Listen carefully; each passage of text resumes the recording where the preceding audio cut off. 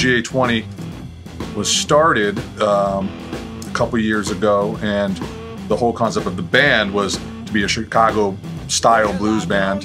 And uh, a lot of those records only had two guitars and drums, Hound Dog Taylor especially. The surprising thing was, as we got started, so many people came up to us saying, That sounded great. What kind of music is that? We'd say, We're doing blues. They're like, Blues? That's blues. And to me, that just goes to show that a lot of people think they don't like blues, but they're just not listening to the right stuff. So now's the time, I think, that people hear somebody as great as Hound Dog Taylor. Well, the woman I love, baby, here and gone. Well, the woman I love.